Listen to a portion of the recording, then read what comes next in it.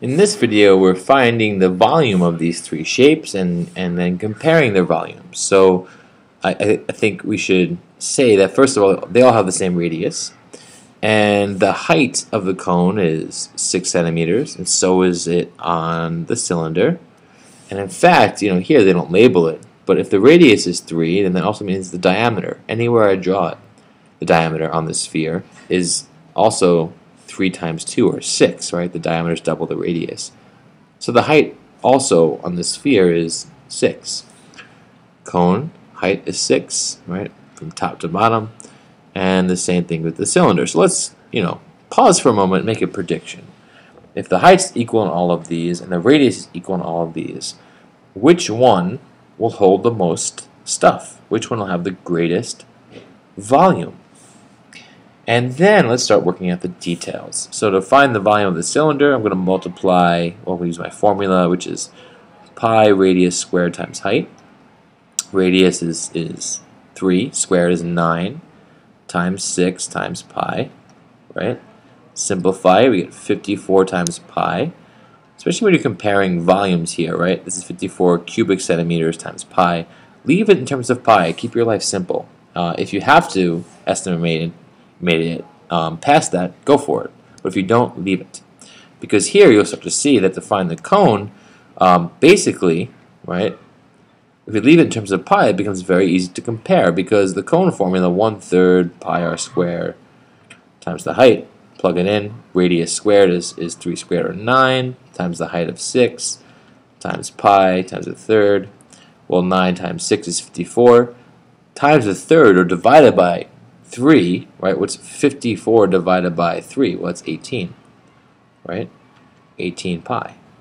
And that's less. It holds less than the cylinder. That makes sense. This this cylinder, this cone will fit inside the cylinder, right? You can always just simply draw it. You can see it. The cone has the same height and radius. Right? There's all this empty space there, so the cone fits right in.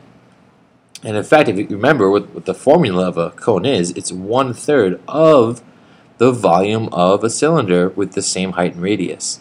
So this this volume over here is one third of this, and we could predict that even without calculating because we know what the formula says. It says the cone is one third of the cylinder, so um, right, it has to be three times less, and it is 54 divided by 3 is 18.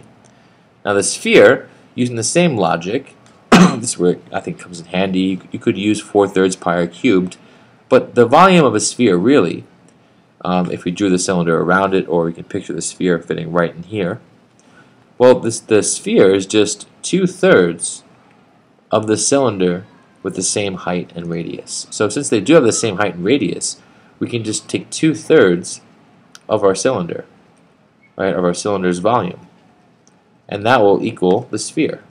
So the, the cylinder's volume is 54 pi. Take two-thirds of that and you've got the sphere. How do I do that? Well, take 54, divide it by 3. We already did that. That was the volume of the cone, 18.